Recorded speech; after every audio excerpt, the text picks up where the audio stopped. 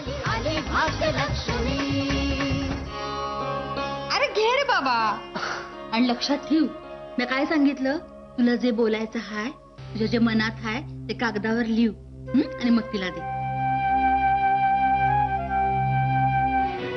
गोदात्या आईने मला यांच्या आईची बोरमाळ कपाटातून आणायला सांगितली.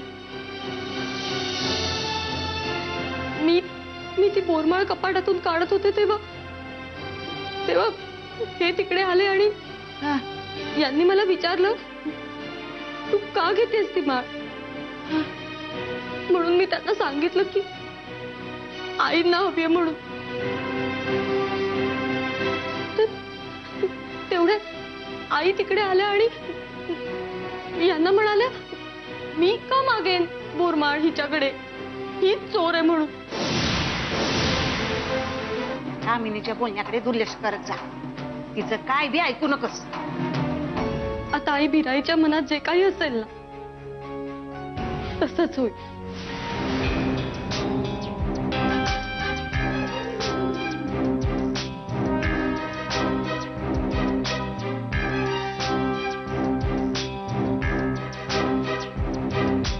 एवढ्या मोठ्या महत्त्वाच्या कामासाठी चाललेस. घे, दही घे.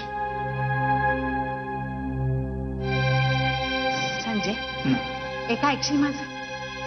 बोला. अरे तू हे जे काय वागतोस काशी बरोबर ते ठीक वागत नाहीस. पोटात अन्नाचं काम नाही तिच्या. हे सगळं तुम्ही मला का सांगताय गोदा आत्या अरे नवरायस तू तिचा.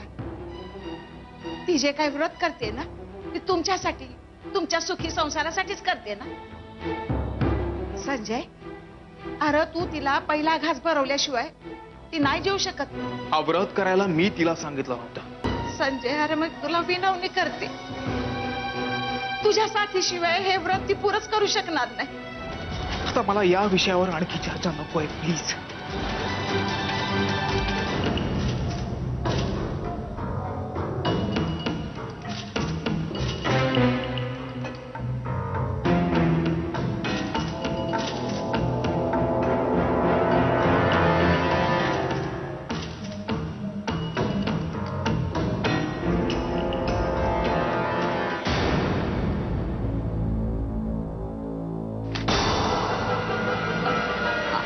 आई?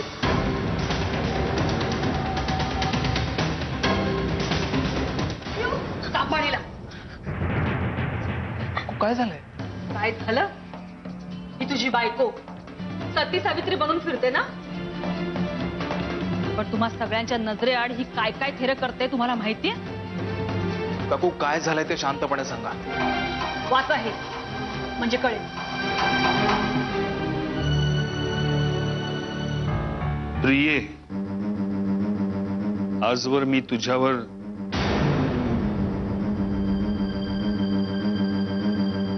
पुढे वाचा भाऊ काका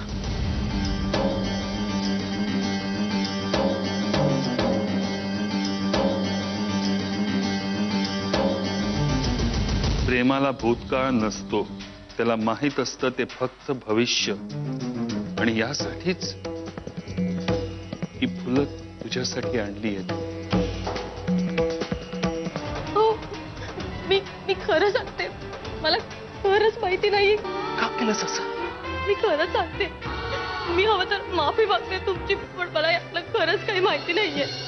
मला माफ करा. बाप्पाजी. बाबा कदम तू आमच्या नजरेसमोर येऊ नकोस. बस चला आता खूप झालं. म्हणजे मी काय करायला पाहिजे होतं नक्की? अहो किती दिवस झाले? गावामध्ये तुम्ही चमत्कार पण नाही केला. आणि ती जयश्रीबाई बघा.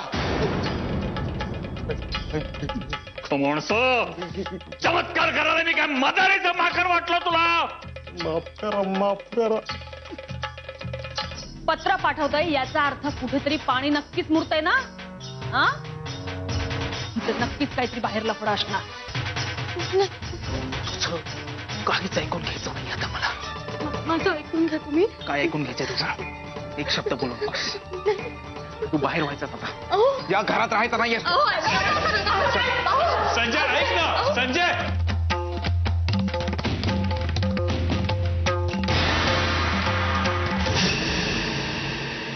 आली आली भाग्यलक्ष्मी.